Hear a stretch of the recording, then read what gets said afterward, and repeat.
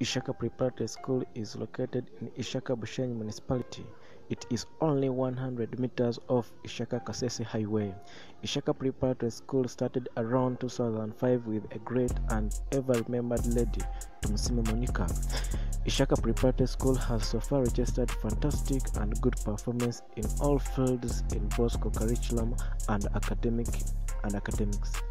Ishaka Preparatory School is now a renowned and a great school that has registered great and most important people in the society.